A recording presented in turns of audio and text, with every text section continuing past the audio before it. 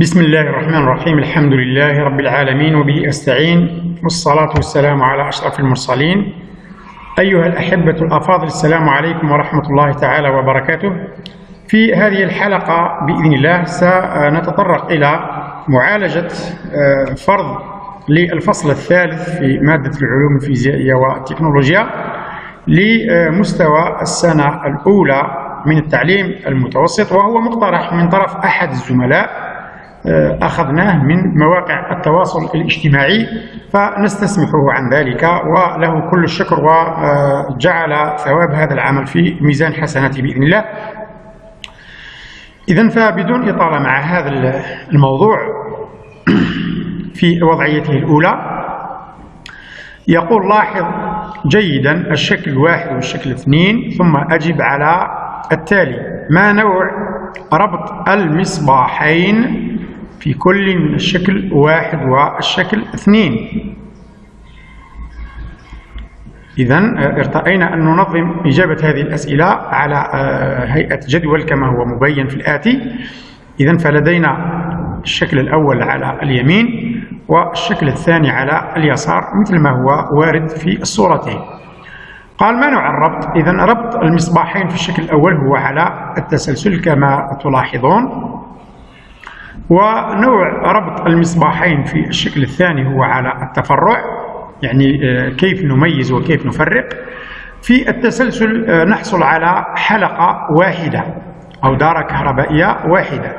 في حين أنه في التفرع نحصل على آه، جزء رئيسي للدارة وأجزاء فرعية. أي هناك دارة أولى ثم دارة ثانية. الآن السؤال الثاني قال صنف أو أوصف ماذا يحدث عند نزع أحد المصباحين في كل دارة كهربائية بطبيعة الحال لما تكون الدارة مغلقة. إذا عندما نغلق الدارة وننزع أحد المصباحين في الحالة الأولى سواء المصباح الأول أو الثاني فإن ذلك يؤدي إلى عدم مرور تيار كهربائي في المصباح المتبقي فنقول يؤدي إلى انطفاء المصباح الآخر. مثلا نحن شغلنا هذه الدارة. يتوهج المصباحان. ننزع أحد المصباحين يؤدي ذلك إلى انطفاء المصباح الآخر ولا يهم الترتيب الأول أو الثاني نزعت الأول ينطفئ الثاني نزعت الثاني ينطفئ الأول ثم في حالة التفرع ماذا يحدث؟ في حالة التفرع لا يتأثر المصباح الآخر بنزع المصباح الأول يعني عندما نشغل هذه الدارة وننزع المصباح سواء الأول أو الثاني فإن المصباح المتبقي لا يتأثر به بل يبقى يشتغل بصفة عادية. آه، الجزء الثاني في هذه الوضعية يقول نقوم باستقصار المصباح ميم اثنين يعني المصباح الثاني. نستقصر هذا المصباح في التركيب الثاني ونستقصر هذا المصباح في التركيب الأول. ماذا؟ يحدث في كل حالة. آه إذا الإجابة هنا. كذلك نظمناها بعد ما طلب منا نسينا أنه طلب منا قبل ذلك مثل مخطط. صف ما يحدث ثم ثالثا مثل المخطط النظامي الموافق لكل دارة نعم. إذا مخطط دارة المصباحين على التسلسل مخطط دارة الكهربائية الأولى هذا هو تمثيل المصباحين على التسلسل. مخطط الدارة الثانية مخطط الدارة الكهربائية في حالة الربط على التفرع هذا ربط المصباحين على التفرع. قال ماذا يحدث في حالة استقصار المصباح ميم اثنين في التركيب الأول؟ قلنا يزداد توهج المصباح المتبقي يعني حينما يكون لدينا تركيب على التسلسل. ونستقصر المصباح الأول فإنه يزداد توهج هذا المصباح المتبقي في الدار. في حالة التفرع عندما نستقصر أحد المصباحين المصباح الثاني مثلا فإنه يؤدي إلى انطفاء المصباح الأول وفي ذلك خطر على المولد خطر على الدار لأن المصباح صار في لأن المولد صار في حالة استقصار بينما هنا لدينا استقصار جزئي يؤدي ذلك إلى التأثير على المصباح فقط. يقول في سؤال موالي ما هي الآثار المترتبة عن الاستقصار؟ نعم يعني من خلال هذه النتائج نفهم الأضرار التي تلحق بالتركيبات. في حالة التسلسل استقصار الجزء أو عنصر من عناصر الدارة قد يؤدي إلى الضرر للعناصر المتبقية. كيف؟ مثلا إذا كان هذا المولد دلالته 12 فولت وركبنا فيه مصباحين على التسلسل دلالة كل من واحد منهما 6 فولت. في هذه الحالة عندما نغلق القاطعة التوهج يكون عاديا للمصباحين. عندما نستقصر المصباح الأول تصبح الاثنى عشر فولت تغذي كل المصباح الذي يتحمل ستة فقط فقد يؤدي ذلك إلى إتلافه. هذا في حالة التسلسل. في حالة التفرع الضرر يكون مباشر يعني يكون على الشبكة وعلى المولد. لأنك توصل العناصر على التفرع. فاستقصار أي عنصر منها فهو استقصار للدار الرئيسية ويكون في ذلك أثر على المولد الذي قد يتلفه بسبب مرور التيار العالي وبفعل الحرارة يتلف هذا المولد. نمر إلى الوضعية الثانية. يقول كثيرا ما تشاهد هذه تشاهد هذه الأجسام في محيطك اليومي إذا لدينا تمثيل للشمس القمر فانوس يعني مصباح وكتاب وشمعة آه، زرافة النار أو اللهب وردة مصباح النجوم. يقول كيف تسمى هذه الأجسام في علم الفيزياء؟ علل إجابتك. هنا لما نقول في علم الفيزياء ينبغي أن ندقق في السؤال يعني على الأقل نحدد الميدان فنحن نتكلم في ميدان الضوء بالتأكيد. فنقول كيف تسمى هذه الأجسام في موضوع ولا في ميدان الضوء. إذا ففي ميدان الضوء تسمى هذه الأجسام بالمنابع الضوئية. علل إجابتك. لأنها سترسل إلى المشاهد الضوء ينبع منها الضوء. تصنف هذه الأجسام إلى نوعين هما أجسام مضاءة وأجسام مضيئة. برأيك ما هو الفرق بينهما؟ إذا فالأجسام المضيئة هي المنابع التي تنتج الضوء بذاتها. يعني يتدفق الضوء منها من ذاتها. بينما الأجسام المضاءة فهي تستمد الضوء من غيرها ثم تنثره. هذا هو الفرق الموجود بينهما.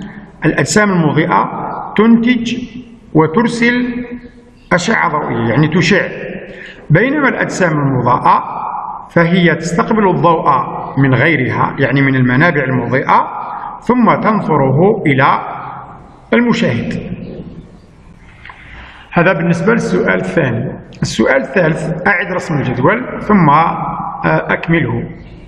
إذا فهذا هو الجدول أعدنا رسمه.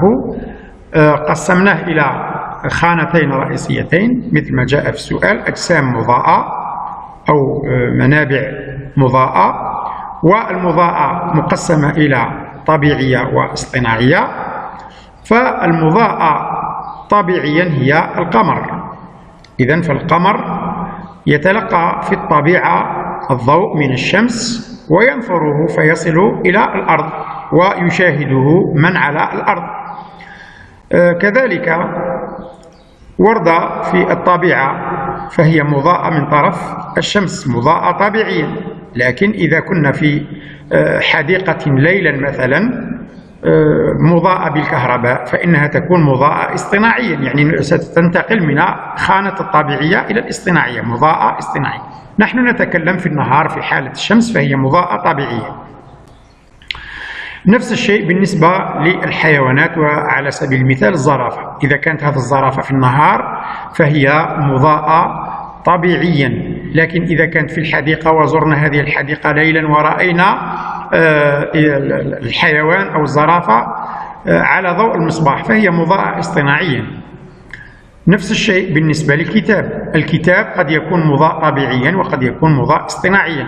ففي ضوء النهار في ضوء الشمس فهو مضاء طبيعيا. لكن في الليل آه، في الغرفة غرفة المطالعة ليلا فهو مضاء اصطناعيا. ننتقل إلى الفئة الثانية أجسام مضيئة. فالأجسام المضيئة كذلك تنقسم إلى طبيعية واصطناعية. فالمضيئة طبيعيا لا شك هي الشمس وسائر النجوم والمضاءة طبيعيا المضيئة طبيعيا هي المصباح. آه، المضيء معذرة. أجسام مضيئة اصطناعية. المصباح مضيء اصطناعيا. بمعنى المصباح لا يضيء بطبيعته وإنما حينما نشغله ونمرر فيه الكهرباء فإنه يتوهج. ما قلناه عن المصباح؟ يقال عن الفانوس. فالفانوس كذلك بطبيعته ليس جسما مضيئا وإنما حينما آه، نشعل أو نقوم بإحراق الوقود الموجود فيه أو الفتيلة إلى غير ذلك أو البنزين أو المازوت أو الزيت إلى آخره فإنه في هذه الحالة يكون مضيئا فهو مضيء اصطناعيا. الشمعة كذلك بطبيعتها لا تضيء. حينما نقوم بإشعال فتيل الشمعة فإنها تحترق ويحدث الأمران الانصهار والاحتراق وبالتالي تعطي لهبا فتصبح مضيئة اصطناعيا.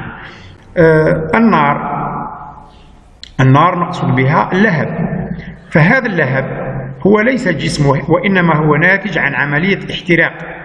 وهذا الاحتراق من أين آتي؟ فهو من فعل الإنسان كأن يحرق حطبا أو خشبا أو وقودا فهنا يكون مضيئا اصطناعيا. ننتقل إلى الوضعية الثالثة. يقول تمثل الوثيقة المقابلة صورة لقطة تشكلت لها ظاهرة فيزيائية معروفة وتحدث معنا كل يوم تقريبا.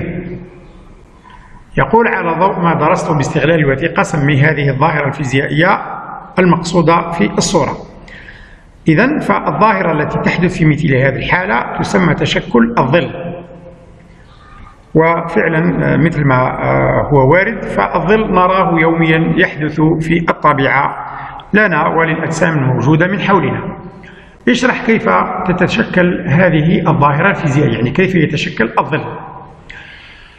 إذا للإجابة على هذا التساؤل ننطلق من مبدأين تعلمناهما. نعلم أن الضوء ينتشر عبر الوسط الشفاف وفق خطوط مستقيمة. هذا رأيناه بالتجربة ونعيشه يوميا. إذا فهذا المبدأ الأول وهو مبدأ انتشار الضوء في الوسط الشفاف. المبدأ الثاني نعلم أن الجسم العاتم لا يسمح بمرور الضوء أي يحجب الضوء. إذا فهذان المبدأان هما اللذان يفسران لنا تشكل الضوء إذا هذان المبدأان يؤديان إلى تشكل منطقة لا يصلها الضوء منطقة غير مضاءة تقع بين الجسم العاتم وبين المنبع الضوئي أي نقول تقع خلف الجسم. هذه المنطقة غير المضاءة هي التي سنطلق عليها خيال أو ظل الجسم العاتم. إذا لنبين ذلك بصورة كيف يحدث ذلك؟ نعم يعني هذه صورة تقريبية. لدينا هذا الحيوان القط على سبيل المثال موجود تحت منبع ضوئي تحت مصباح الغرفة على سبيل المثال. فتلاحظ أنه يتشكل تحت القط يعني على الأرضية خيال أو ظل القط. قلنا كيف يتشكل؟ هاي الصورة والتمثيل يعبر عن ذلك. تأتي الحزمة الضوئية التي ستسقط على جسم الحيوان. فكل ضوء يسقط على جسم الحيوان لا ينفذ يعني يقف عند حدود الحيوان. في حين يمر الضوء على الجوانب يعني في الفضاء المحيط بالحيوان. وبالتالي المنطقة التي مر منها الضوء تكون مضاءة. لكن المنطقة التي آه، حجبت الضوء وهي جسم الحيوان سيتشكل فيها ظل أو خيال الحيوان. إذا آه، بهذا نكون قد وصلنا إلى نهاية هذه الحلقة. في الأخير أسأل الله العلي القدير أن نكون قد وفقنا. كما نأمل أن تكونوا قد استفدتم مما قدمناه لكم. والسلام عليكم ورحمة الله تعالى وبركاته.